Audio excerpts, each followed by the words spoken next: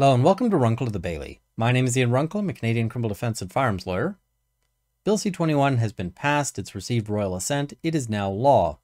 And a lot of people have a lot of questions about it, and I'm going to try to answer them. Now, originally I was going to do a big mega video talking about everything that's in Bill C-21. And I've realized that would be A, way too long, probably be over three hours. Uh, it would be very difficult to follow because it would mean a lot of jumping back and forth between Bill C-21 and the bills it modifies, primarily the Criminal Code or the Firearms Act, and that might get a little difficult to follow. And it would also be not as useful to people because a lot of people have specific questions and finding those answers out of a three-hour video would not be great. So I'm going to do a series of smaller videos discussing particular issues. And the one we're going to start with is firearm parts and cartridge magazines because Bill C-21 aims to bring those into a level of control that approaches the level of control that is that exists for firearms in Canada generally. So, lots of people have been concerned about this one. There's a lot of information going along around, a lot of misinformation. So let's try to clear this up. One of the major things that Bill C-21 is going to do is it's going to control the transfer of cartridge magazines and firearm parts. And so when we look at what transfer means, transfer is actually quite broad. Transfer means sell, provide, barter, give, lend, rent, send, transport, ship, distribute, or deliver. So that's pretty broad. Um, there are some exceptions in the sense that like mail carriers are allowed to do some of these things in different ways than you can. But for instance, if you want to lend one of these things to your buddies, that becomes a potential issue. So um, I would say that I hope everyone knows what a cartridge magazine is because cartridge magazine was already defined in the law, but we're going to go over it anyway because it's good to have a refresher and a lot of people might have misunderstandings here. If the whole point of this video is to clear up misunderstandings, it's good to be clear. So cartridge magazine means a device or container from which ammunition may be fed into the firing chamber of a firearm. This is important as well because ammunition itself is defined. Ammunition means a cartridge containing a projectile designed to be discharged from a firearm and, without restricting the generality of the foregoing, includes a caseless cartridge and a shot shell. So why is this important? Well, because there's a bunch of things that are either firearms or firearm-like which don't use ammunition. For instance, an airsoft gun is legally a firearm. It's what we'd call an 84 sub 3 firearm. It doesn't need a firearms license. But the magazine isn't a cartridge magazine because it doesn't contain cartridges. It just uses projectiles. This is true of some other things. Uh, the Byrna launcher, a lot of you have asked me to do a review or a discussion of that. That's coming.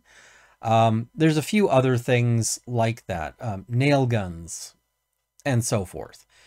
So this does include the magazines of most firearms. It doesn't include something like a side saddle would not be a cartridge magazine because you can't feed it into the firing chamber of the firearm with that, unless a court comes to a really bizarre ruling, but I don't see that happening. So that's a cartridge magazine.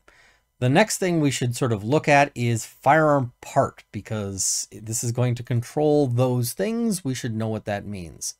So firearm part means a barrel for a firearm, a slide for a handgun, and any other prescribed part but does not include, unless otherwise prescribed, a barrel for a firearm or a slide for a handgun if that barrel or slide is designed exclusively for use on a firearm that is deemed under subsection 84 sub 3 not to be a firearm. And those, again, are things like air guns uh, that shoot under 500 feet per second, nail guns and other industrial uh, things, signaling devices like flare guns. That's um, sort of what's covered there. All right. Now, what does this end up meaning? Well, um, it starts with a barrel or a slide for a handgun, but they they have the ability to add through regulations other things. So some people have said firearm part includes springs. It includes um, not legally under the definition yet. They could add a spring later on. Now, why are they putting this in here? Well, the main reason why they want to control this is because they're concerned about 3D printed firearms. And YouTube, I'm just discussing the law around them in Canada. Please don't yank this just because I used a word you don't like. But uh, they're concerned that people are going to be acquiring uh, critical components for 3D printed firearms, and so they want to restrict that. So, what does Bill C-21 do about these things? Well, the first thing it does is it adds firearm part and cartridge magazine to all of the sections around um, around when you get a firearm ban, for instance. Um, so if you get banned uh, to uh, from having guns, like you uh, because you have a criminal conviction or something along those lines, then you are not going to be able to have firearm parts or cartridge magazines, which currently you can. Like currently, if you sustain a firearm prohibition, perhaps because you were convicted of drug trafficking or something like that, you would still be able to buy cartridge magazines or uh, gun barrels not a full gun, but a gun barrel, for instance. Um, so this sort of closes that up. Um, it also allows for a lot more, um, if they're searching, they can seize more things. Um, but that's not the main thing that's got people concerned. That is uh, this bit, and I'll just pull this up. Uh, authorization to transfer cartridge magazine to individuals and authorization to transfer firearm parts. So a person may transfer a cartridge magazine that is not prescribed to be a prohibited device only if the individual holds a license authorizing him or her to possess firearms, and a person may transfer a firearm part to an individual only if the individual holds a license authorizing them to possess firearms. So, um, the first question people have had is, is this in effect now? And the answer to that is no, as of the recording of this video. It might actually change between me recording it and me posting it. Um, these things will come into effect via an order in council, which can be brought at any time. But we don't know exactly when that'll be. Um, it might just be that there's an announcement and then it's done. So um, we don't know is the simple answer, but um, a lot of people have said it's already in effect. No, but keep uh, keep your ears peeled for when this changes because this could affect you. Now, you'll note that the weirding, the wording is weird. Pardon me. Um, a person may transfer a firearm part to an individual only if the individual holds a license. The reason for that wording, differentiating person and individual, is to make it clear who has to have the license. The person who's receiving the item has to have a license. And one question people have asked is, wait, what what does this mean about they have to have a license? Particularly because we've seen um, new changes to the gun laws that have required this process where you have to go and call in and verify and get a, uh, you know, a, a, a number to confirm that you called in and verified the license and that big process. And they're saying, am I going to have to do that for magazines? Am I going to have to do that for gun barrels?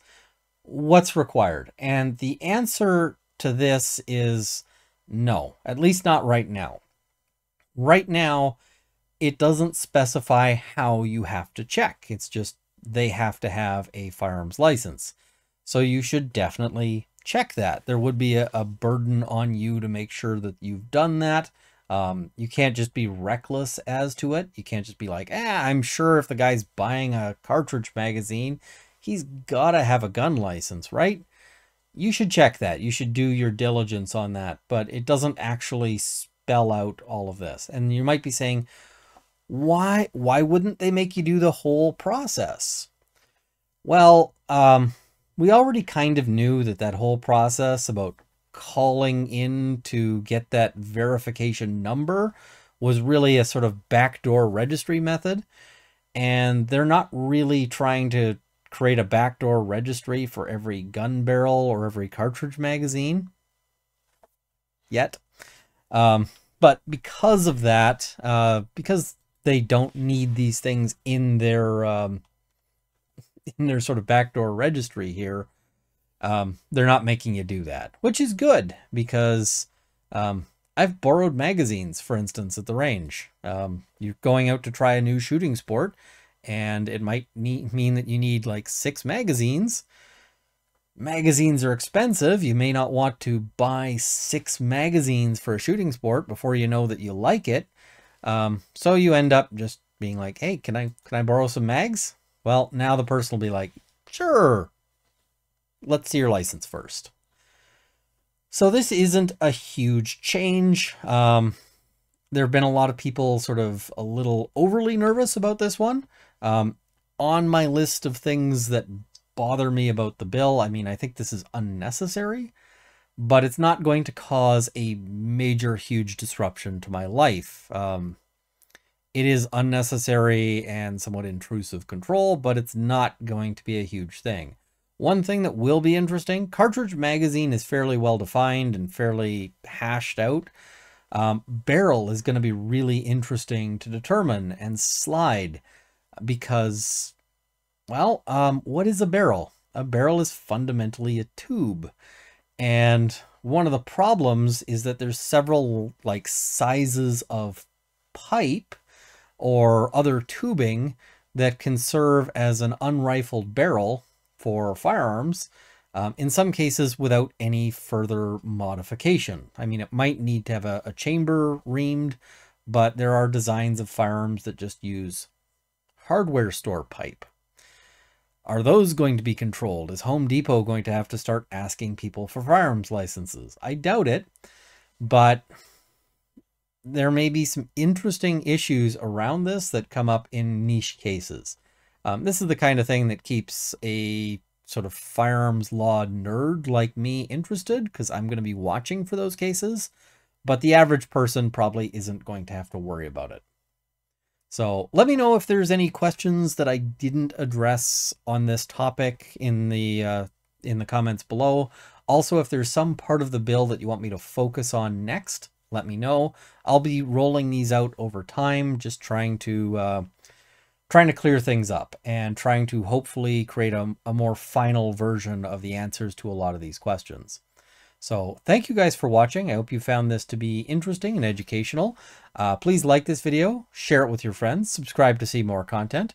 And I also want to thank my Patreon supporters at the $50 level, Canada's National Firearms Association, the CCFR, the Canadian Shooting Sports Association, and Lembus for the ELF. At the $20 level, Lindsay Metcalf, Larry Kalniak, Kyle Fox, Drunk All of the Baileys, Cameron Johnson, Andrew Elsich, Vicky, and Dorky Dane. Thank you as well to my $10 supporters who will be in the crawl immediately following. Thank you for watching. Hope this has armed you with knowledge. See you next time.